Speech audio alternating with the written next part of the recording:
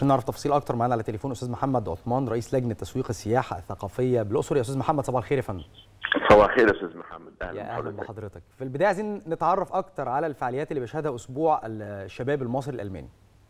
الحقيقة هي الفكرة الجميلة الرائعة اللي قامت بها مجموعة من الطود أحد القرى الجميلة الرائعة في الأقصر هو تواصلهم للعام ال11 مع المجموعة الألمانية مع مع المسؤولين عنها والحقيقة كان دورها مش مجرد دور ناس جاية تزور الاقصر لكن هو إظهار الوجه الحقيقي للشباب المصري.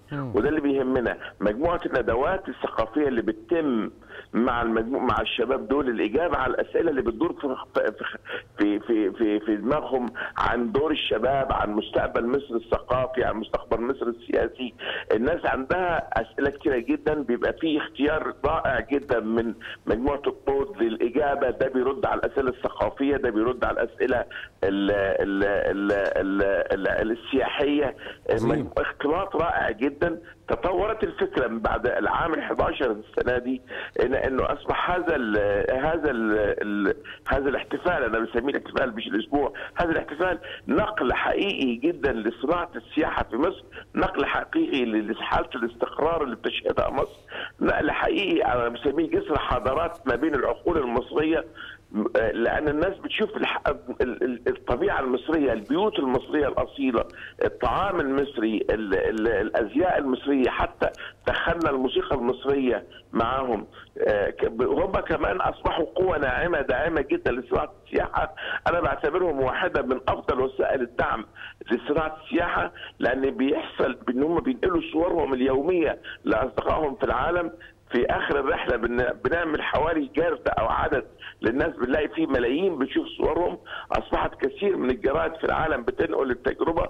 تجربة شباب بيعيش مع شباب يظهر الوجه الحقيقي للشاب المصري الرائع بيختلطوا بالاسر المصرية بيبقوا حريصين إن هم يعيشوا التجربة المصرية وبعدين بيكونوا داعمين جدا إن هم في الآخر الرحلة بيعملوا هاشتاج يا إما مصر جميلة يا إما زوروا مصر. وأنا عايز أقول إن هم كانوا أحد الأسباب الرئيسية من من أحد الأسباب الرئيسية إلى عودة السياحة الألمانية إلى الأقصر مباشرة عن طريق الشارتر أو الطيران العارض.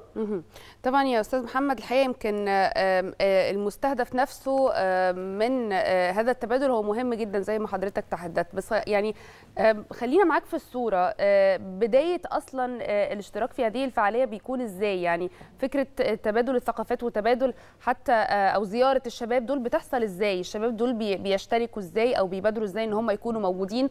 ومن أول ما بيوصلوا مصر إيه؟ اللي بيحصل؟ البرنامج شكله إيه؟ المجموعة الفكرة بدأت من مجموعة الطود الرائعة أنا بسميهم الحقيقة يعني مجموعة كلهم شباب هم فكروا أول ما فكروا فكروا إن هم يستدعوا ايامها كانت السياحة كانت قليلة. كمان كانت في بعض الصور المصدرة عن مصر عن عدم مدنية الدولة أيام الإخوان المسلمين وعلى إنه هذه إنه مصر ما عادتش بلد مدنية. فكانت فكرة رائعة من مجموعه من شباب الطود. الحقيقة لازم نرفع لهم القبعة. هم اللي قاموا بالاتصال بأصدقائهم في ألمانيا وكانت القصة في بدايتها قصة أقل من كده ان هم بيقولوا تعالوا اقعدوا عندنا في بيوتنا تعالوا عيشوا معانا في حياتنا عشان تنقلوا الصورة الحقيقية الناس مش بتيجي بس للحجر لكن للبشر. والبشر المصري أو الإنسان المصري تحديدا رائع جدا الحقيقة. يعني مهما يتقال عن ما يكتبه هؤلاء الناس عن الحياة ما بين الاسر المصرية بيخشوا البيوت المصرية في الطود بيدعموا كمان زي ما حضرتك قلت في التقرير الاستاذ محمد قال في التقرير إن هم بيغرسوا ألف شجرة. عملوا مبادرة رائعة غرس ألف شجرة في الطود وحواليها. كمان بيدعموا مستشفى الأورمان عن طريق عمل هاشتاج.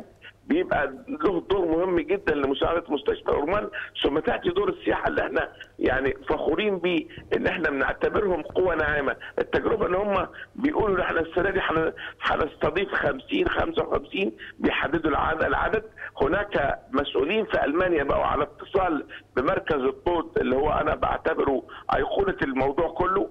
هذا المركز بيرتب الأعداد السكن لمدة أسبوع برنامج حافل جدا. الأساس فيه هو جسر حضارات الحضارة الألمانية أحد الحضارات العتيقة القديمة في ألمانيا والحضارة المصرية الأقدم في الوجود بتلتقي لنقل وتوضيح الشخصية المصرية الرائعة عن طريق الشباب.